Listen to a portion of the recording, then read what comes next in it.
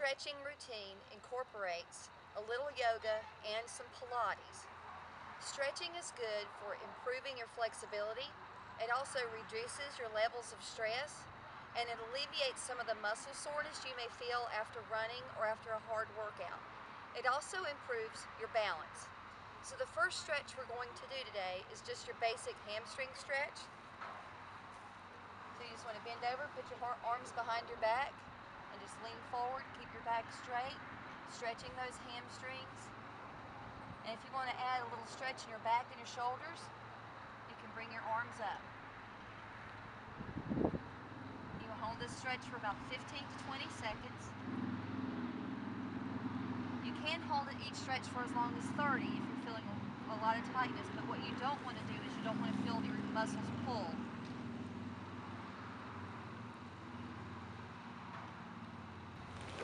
Now we're going to go into our wide toe touch stance. So you want to have your feet, your legs wide apart, have your hands out to your side. You want to keep your arms extended and you just want to reach over and touch the opposite foot, foot with your opposite hand. Always keeping your arms straight, twisting at your torso. This is not a fast movement, this is just a slow movement just to stretch your hamstrings, your glutes, a little bit of stretching in your obliques and your arms and your shoulders as well. Remember just to keep those arms straight in a nice slow motion. You can do this anywhere from 15 to 30 seconds.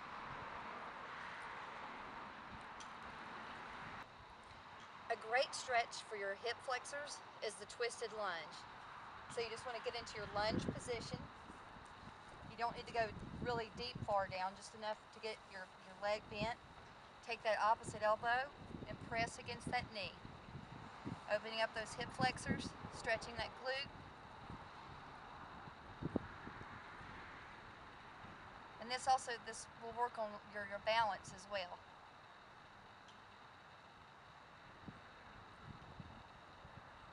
And you just want to do the same thing on the other side.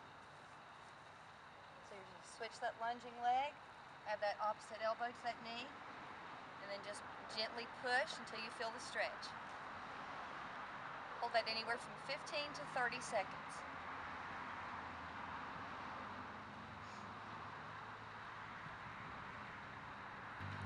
Now we're going to go into our downward dog. So you want to get into a downward dog position. Feet are about shoulder width apart, knees straight, arms right underneath your shoulders. Tuck that chin in, your head goes straight down. If you feel a little extra pull in your glutes, you can twist your hips just a little bit, just get a little swivel in there just to have an extra stretch, but not too much. To feel an extra stretch in your calf, in your calf and your hamstring, bend that right knee lean forward a little. And again, you want to get an extra stretch in your calf and in your hamstring. Straighten that right knee, bend your left knee, stretching, get an, getting an extra stretch in your calf and hamstring of your right leg. Straighten both knees. Now you want to go into your leg extension. So you want to lift that left leg up Keep that straight, and aligned with your back and your head. Hold your leg up. And you want to drop that foot down, opening up that hip.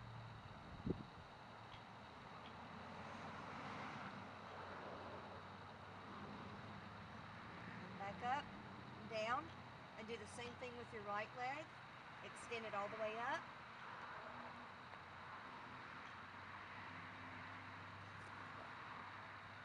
Then drop your foot down. Opening up your hip, getting a stretch in your quad as well. And then back down. The next stretch is the pigeon pose. So you just want to get down, tuck your foot underneath your thigh. I'm going to start with my right foot. Get that left leg back. First you want to sit up opening up that chest. and then lean forward. And get a nice long stretch in your shoulders and your back and in your legs.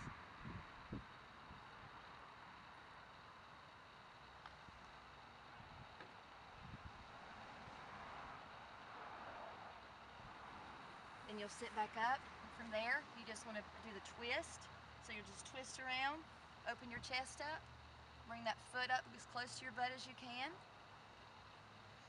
And then hold that pose, stretching that quad.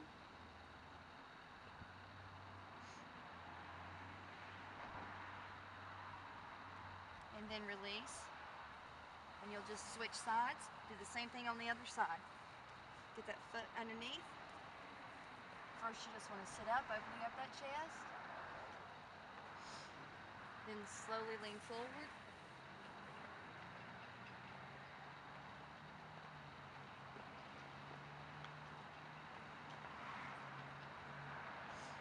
And sit back up, twist, grab that left foot, and bring it to your butt.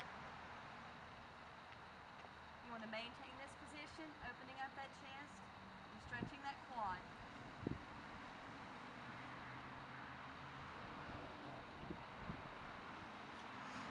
From there, you'll want to go into your child's pose.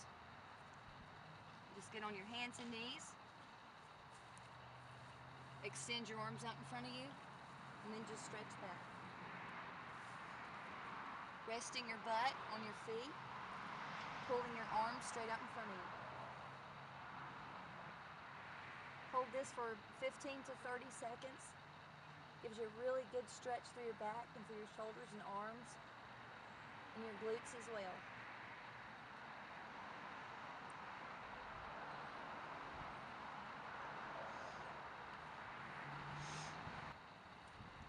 The next stretch is your tuck and extension.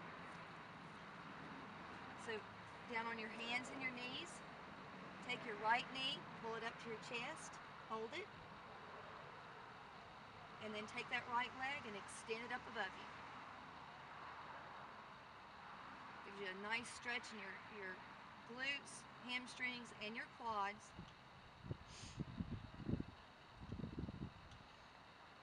Then do the same thing with your left leg. Pull it to your chest. Hold that. Tuck in your chin. And then extend that leg above.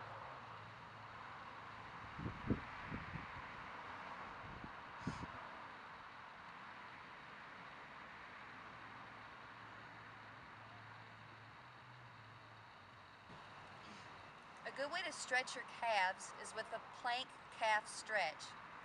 So you want to get into your plank position or your push-up position. Make sure your body is straight. Take your right foot, rest it on that left calf and press down slightly and slowly bring your heel to the ground. Just feel a slight stretch in your calf. You don't want to feel a pull, you just want to feel a slight stretch. Go back into your push-up position.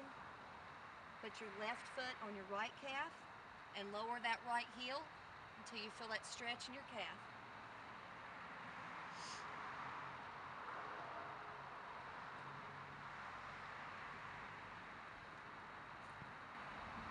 The bird dog is a great stretch they use in Pilates. Again, this is on all- your hands and your knees. So keep that back straight. And you just want to extend the opposite arm and opposite leg. So we'll start with your right arm out and left leg out, keeping your back, leg, and arm straight. This helps you with your balance as well as your flexibility.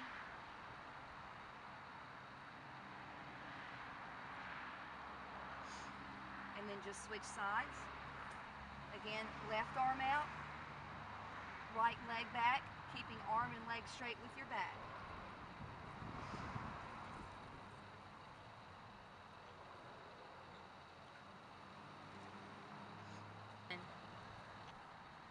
The Pilates saw is a great way to get a great stretch in your legs. So what you want to do is just spread your legs, reach up with your hands, and then touch your opposite foot with your with your opposite hand. So left hand goes to right foot, Open up your chest, have your left hand, your right hand behind you. And then just switch. Right hand to left foot. And you just want to go back and forth. Hold each position for about five seconds. Not too long, you don't want to pull anything. And then you switch. Now if you need an extra stretch, you can always flex your feet and that will give you an extra little stretch in your hamstrings and your calves. So you just go back and forth slowly, holding each stretch for about five seconds.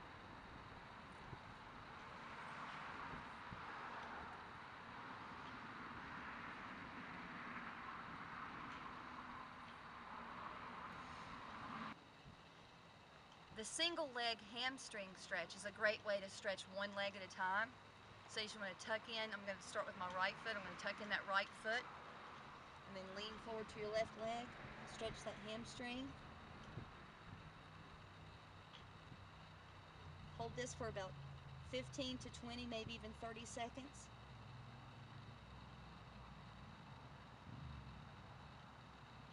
Then you want to sit up and I'll adjust your position just a little, then lean towards that right leg, keeping your knee bent. Maybe tuck your foot under just a little and get a good stretch in your glute. This will stretch your right glute.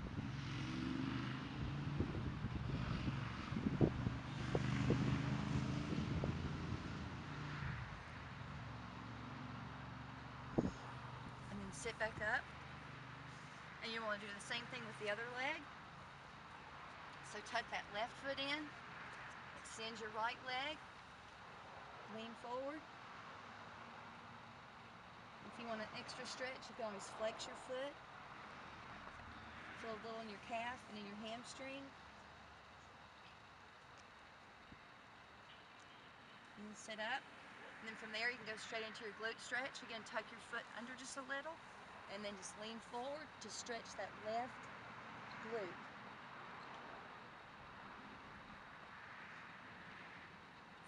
You should feel a nice, good stretch in your butt.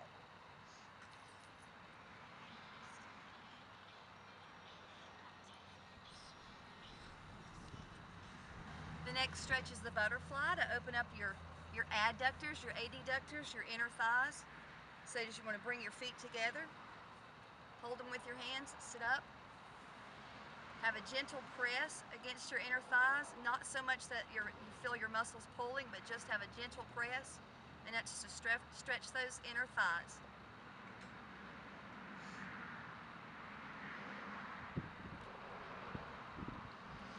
And then from the butterfly pose, you just want to pull your feet out just a little. Keep them together, but put them out about maybe five, five inches or so. Grab your feet and lean forward, rolling your shoulders forward and tucking your chin in to get a good stretch through your hips.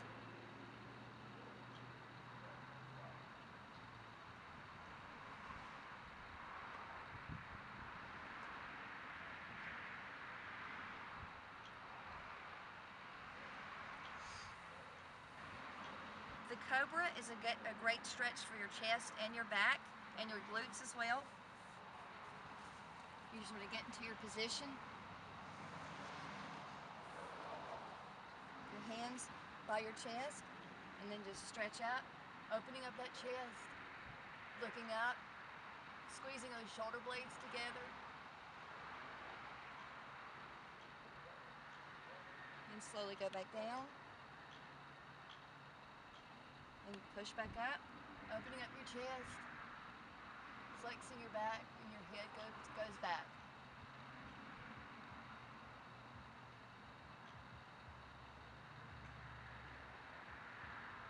You want to do this for about maybe five to six times.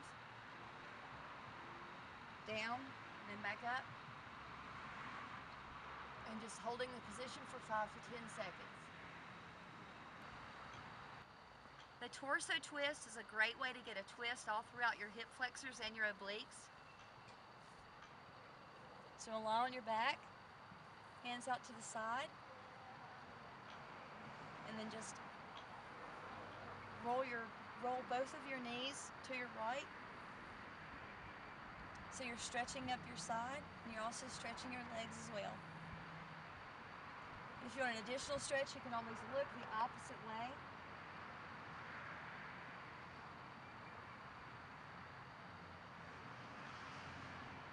Just switch sides, rolling your knees over to your left,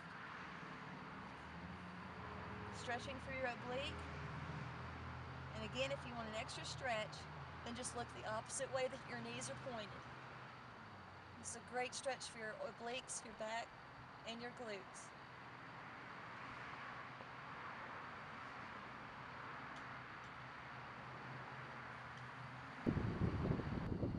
Tucks are a great stretch for your glutes and as well as your back.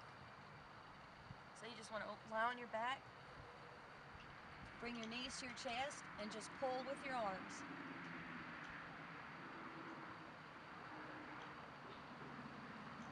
And if you don't feel like you're getting enough of a stretch, extend your legs and pull your knees to your chest. So again, you have two options for that stretch. Bring your knees to your chest or extend your legs, bringing your knees to your chest for an even more stretch.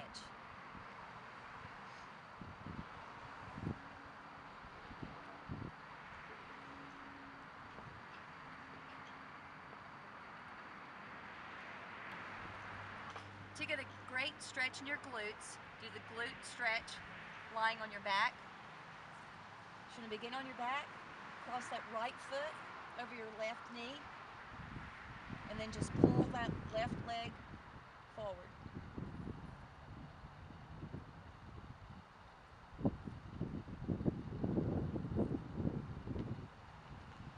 You're gonna feel that right here in your hamstrings and in your glutes. And then just switch.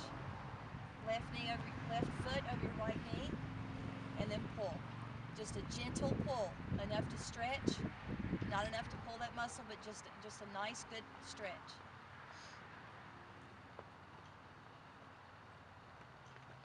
And then release. Then you'll just want to finish your stretching routine by lying on the ground and just give your body a nice full body stretch, extending your arms and your legs. I like to describe this as if you're looking at one of those old Western movies and, and uh, where a man is being tied, his hands are tied to one horse and his feet are tied to another and he's being pulled apart. I know that's not a very good description, but you want to stretch with your waist. Stretch, stretch in your waist, your abs, your obliques, and just let that naturally pull your shoulders, arms, and legs and hips. Just a really good body stretch. Relax your breathing. Then sit up. And then lean forward and just touch your toes, rolling your shoulders and your back and taking in your chin.